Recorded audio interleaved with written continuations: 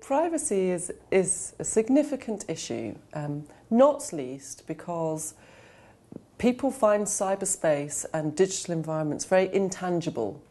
Um, they understand how to make their house private, they lock their front door. Well, they hope that that works, and they lock their car doors. And, and, but when it comes to being private online, people don't understand that very easily. And, and the truth of the matter is, there aren't very good controls out there. Um, and there is a potential conflict between the need to govern environments and govern states and protect people's individual privacy. And, and, and that has to be negotiated, um, has to be fluid, and it will change over time. Some people believe that it's not just changing in one direction, it will move like a universe and expand and contract. And that might be related to people's roles in society, it might be related to their age.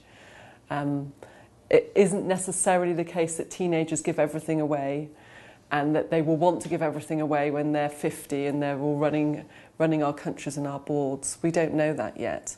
Um, certainly, it's, it's true to say that there's an issue, a wildfire issue in terms of the levels of connectivity in cyberspace mean that the old fashioned checks and balances, um, so editors of newspapers stepping in and deciding if there's an, enough evidence to publish a story and the like, um, they don't hold true in cyberspace for social networking sites. So we do have issues in terms of the speed at which information and data can get out there and how one might try and control that um, in, uh, in the expectations of today's society, as well as understanding what people's expectations are.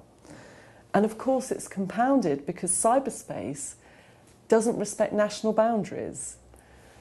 And yet, privacy law and privacy rights are governed in a national sense. Well, certainly in the European region, um, they transcend some national boundaries, but in a global sense, they're, they're governed in a national sense. And so it isn't clear how one maps this issue of this space that has no national boundary but has citizens of cyberspace who are also citizens of nations and who will have expectations on their personal privacy that's a to-do item for sure in the 21st century.